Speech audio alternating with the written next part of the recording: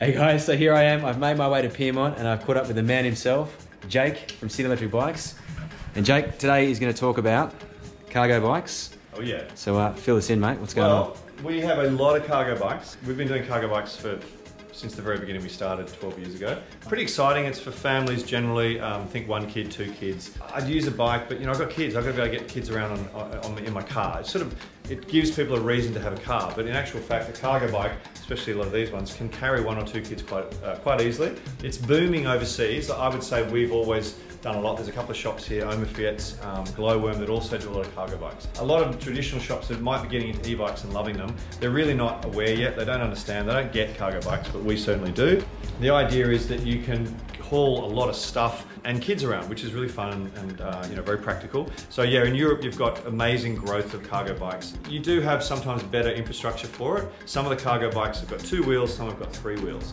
Uh, and the tub trikes, which are really fun, are a little bit impractical in Sydney sometimes because if you're in a congested area, there's not as much space to actually ride them. So most of the ones we sell are the two wheelers. Having said that, we do do some three wheelers too. They are a bit expensive in general, uh, often because they come with pretty good systems like Bosch and Shimano, although we do have some that start around $3,000. Uh, but typically the price is five to seven or eight grand, which yes, you could buy, you know, car for that, but you don't get the joy of and the fun. Kids come here and get on bikes and they always want to end up getting a cargo bike in the family. And it makes them want to be out there, it's an adventure, it's fun. They're obviously heavier and certainly sometimes it's a bit of a step up in terms of skill set to be able to ride them. Some of them are easier uh, than others in that regard and I'll, I'll go through which ones work better for certainly the design, like a step through for women and also just the overall center of gravity and the geometry we would basically say there's three types of cargo bikes, right? You've got short tail, maybe over here.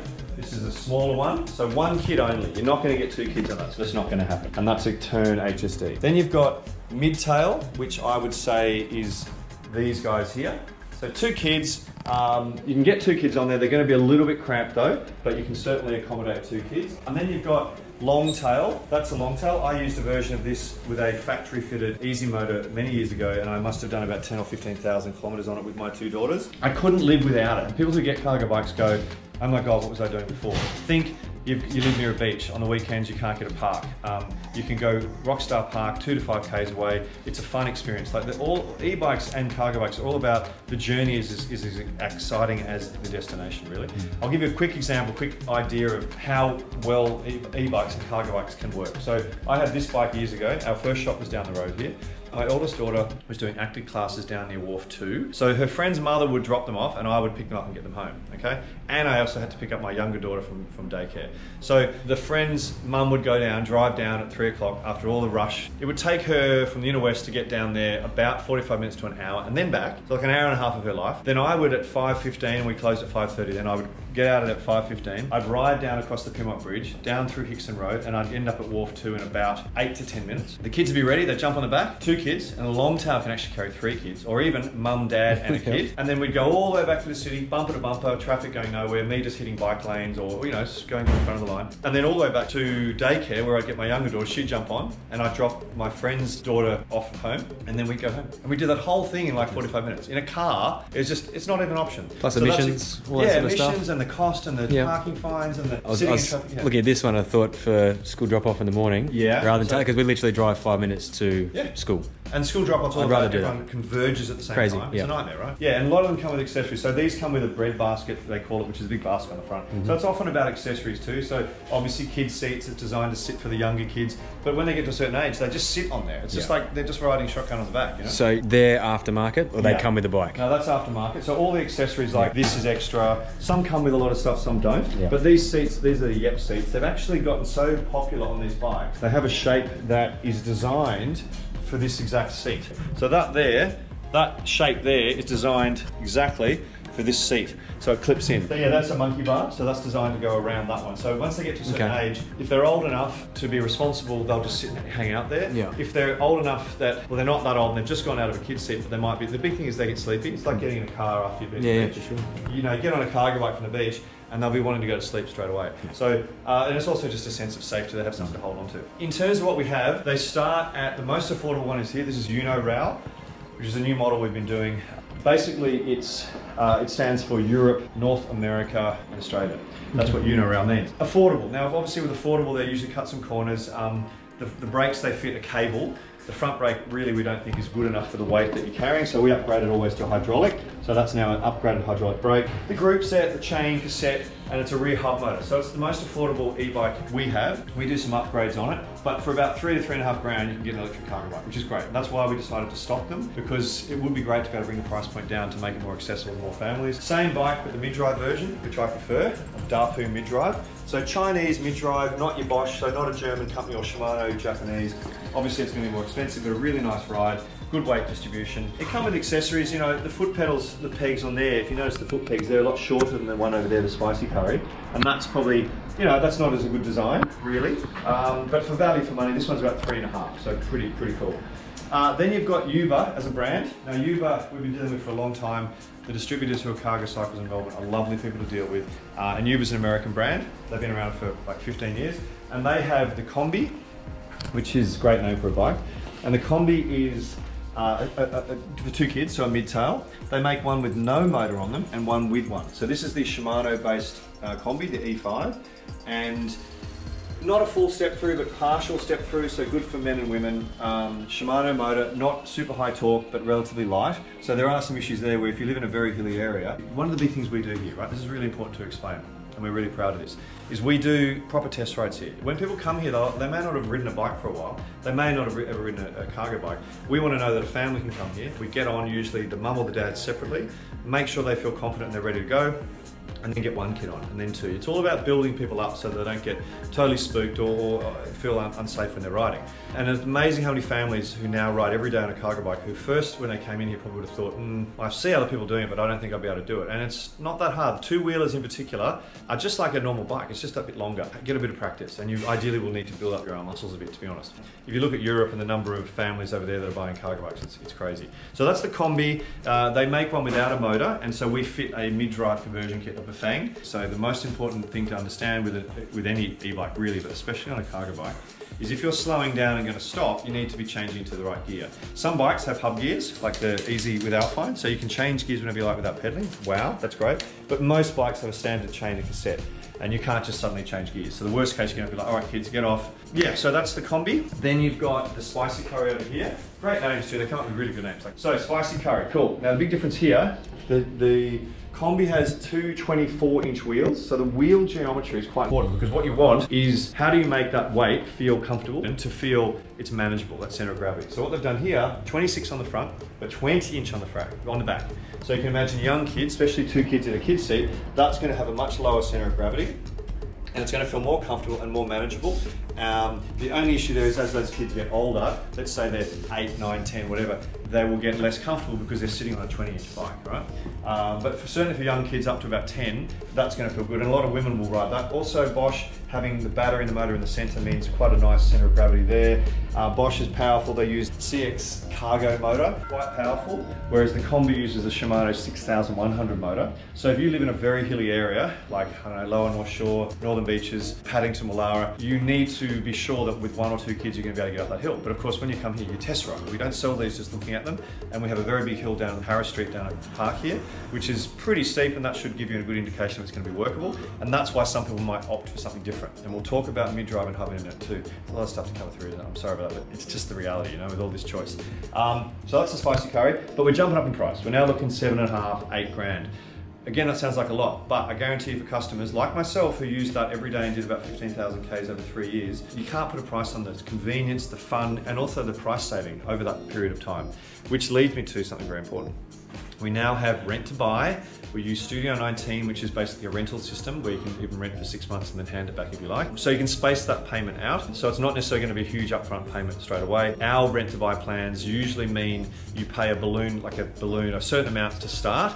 But you might say, look, I came in here looking at the cargo bike here for three and a half grand, but gee, I got on the Spicy Curry. Let's face it, it is a much nicer bike, but we can't afford that. Well, put your money down there and then we'll let you pay this one off for three to six months. So that's something to talk to our staff about as well. Then Yuba's got another one over here.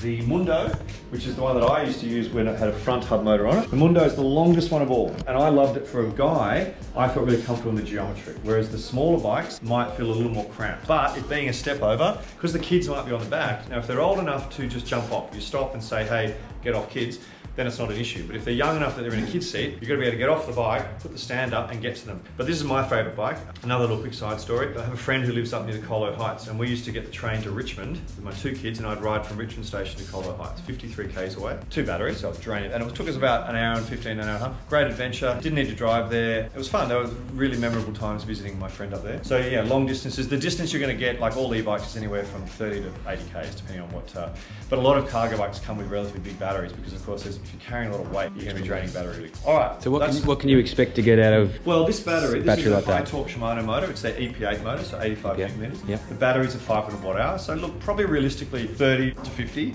with high power in, in a very hilly area. A Hmm. relatively flat area, 60 to 90. You know, so it's very dependent on on your terrain and how fit the rider is. And if you're carrying one or two kids, will make a big difference. And in just a quick question, in terms of battery life, how do you how do you look after the battery and make sure you get the most out of it? yeah. So with batteries, lithium battery technology is the same across a lot of technologies and industries. So Tesla cars, Tesla Powerwall, your Bosch power tools. It's all the same kind of concept, right? And they, they generally have small kind of a double A, uh, triple A size batteries.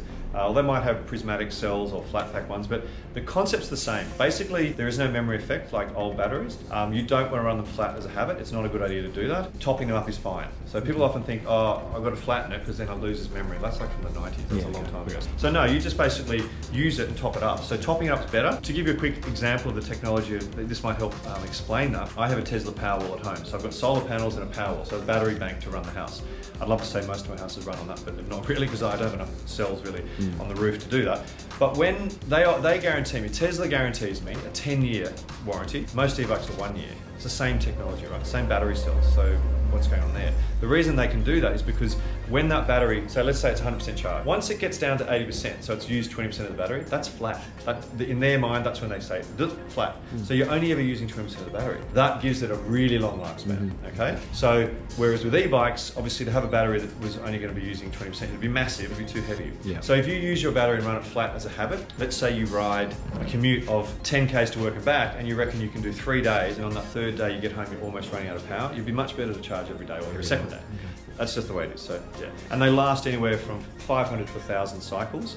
If you buy a cheap e-bike, mind my French, they will use the cheap generic cells that won't do that. They'll do 100 to 150 cycles. So of course the cheap pay twice, both in quality of motors, but also the cells is one of the most. You don't see them. They all look like just a battery, but in actual fact, when you look at the price of things, also the guarantee, you know, and the backup. Will you be able to buy that battery in the future because that company's around, or is it some little small startup with some guy who thinks I can just get a container of e-bikes, flip them, and make all this money? It doesn't really work out because they realise it's more complicated than that. And then they disappear and you've got no one to help you, so avoid that. eZee, eZee we've done since we started this company. So great company, Ching, the owner, who's in Shanghai, I was the first person to put a lithium battery on an e-bike 15 years ago. They do a lot of different bikes, but this is our most popular cargo. It's a low step through, so for women it's really easy. A little cramp for me being relatively tall, uh, and also the wheel on the back is 24 inch, the front is 26. So again, it's a good, slightly lower center of gravity. It comes with some really nice components. Like this one's got Alfine brakes, Alfine hub gears. You get everything with it. So the side rails you get, whereas some of the other bikes and, and Yuba, you have to pay for those things extra. And it's very powerful, but it's a front hub motor. So front hub motors, powerful hub hub motor, are generally less popular these days than mid-drive. There's a whole other video about mid-drive and hub, but basically hub motors work very differently. They're very generous of power, irrespective of what effort you put in. A mid-drive can give you a lot of power, but it will reward you for the effort you put in, and they won't work with throttles generally. So the thing is, the, the reason the eZee is very, very popular still is because it doesn't take a lot of effort from you pedaling, it'll give you a lot of power. So for someone who needs extra help, very big hills, two kids, it's great. The only downside is traction. Obviously, if you had a wet, slippery surface like Sydney circa the last two months, and you also have a throttle. So if you hit the throttle on a steep hill, you can't expect it very stable. That wheel's going to spin around. So you want to be pedaling a bit to get rear wheel drive. Mm-hmm. But the weight at the front works really well, I believe, because a lot of the weight's going to be back with kids on the back. So if you look at this one here behind you, that's a high torque rear hub. That's great, but you've got kids on the back and a motor. It starts getting like pretty bloody back heavy, uh, which will change the, the steering and the handling. So eZee's great, also about four and a half grand. So not super cheap, but not the most expensive. Vyron's a new one we're doing, so I can't say a lot about it. This distributor in Melbourne. It's very similar to the Uno behind you, but a bit bigger and longer. It's actually quite a long bike, and it comes with bigger footrest, which is which is cool. And it's really rear hub, not quite as powerful as this G20, but still high torque. And it comes with hydraulic brakes out of the box and nice gears and the throttle on the left, which is better than what uh, these models do, where they put generally a throttle on the right. We've actually changed this whole system to make it better, but these guys do that from the get-go. So good bike, Australian company, and about 3,500, 3,700. Now, the one you're actually leaning on right now, Dan, is a Bicicapace Italian. I love it. Uh, we haven't had a lot of interest in it so far. We've only had it for a couple months, but I actually used it when my uh, youngest daughter had her 13th birthday this year. She wanted to hire a boat, so right, we're right near Darling Harbour. So I went down and hired a boat for a couple of hours, and we took down. We had adults as well, and I was like, oh no, we need to get the booze and stuff because they, they had some snacks on there. So I went to the bottle shop. I got ice, and I ended up with like three bags of ice, case of beer, wine, soft drinks, and I filled this thing up like you wouldn't believe. And I only had to go like 500 meters down the road, but it handles beautifully, really well. It's the same motor as the Kombi, the Shimano 6100 motor, which is not as powerful as some of the other motors, but again, it's that bit lighter and it handles really nicely. It's got um, hub gears again, so eight speed hub gears, so you can change gears whenever you like without pedaling.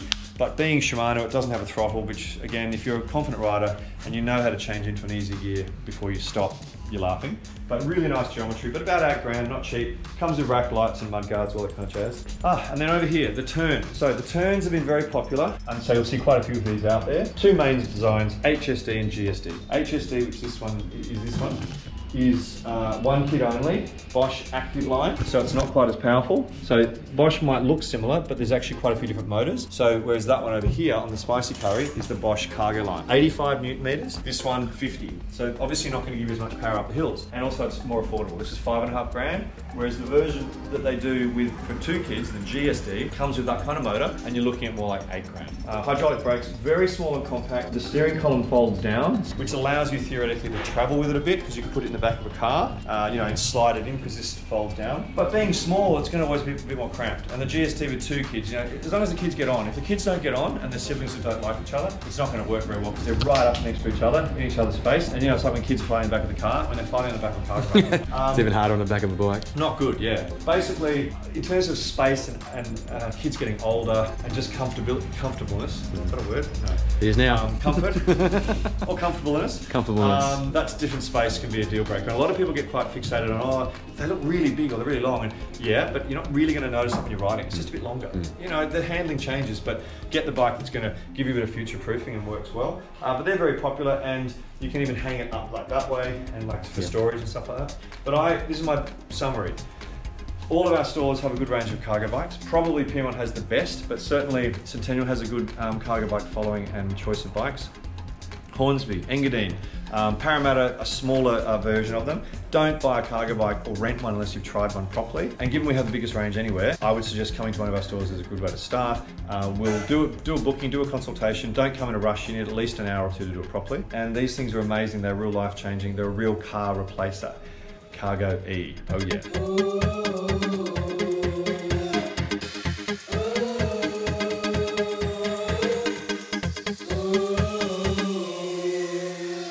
Comfortability, comfortableness. Is that a word? No. It is now. Um, comfort.